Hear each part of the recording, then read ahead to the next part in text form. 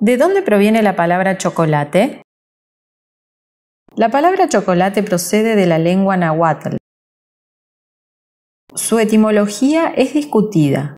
Según el Diccionario de la Lengua Española, publicado en 2014 por la Real Academia Española, sería originaria de Xocoatl, unión de xoco, amargo, y atl, agua.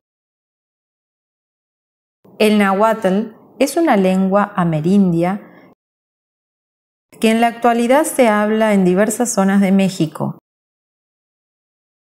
Antiguamente fue la lengua del imperio azteca.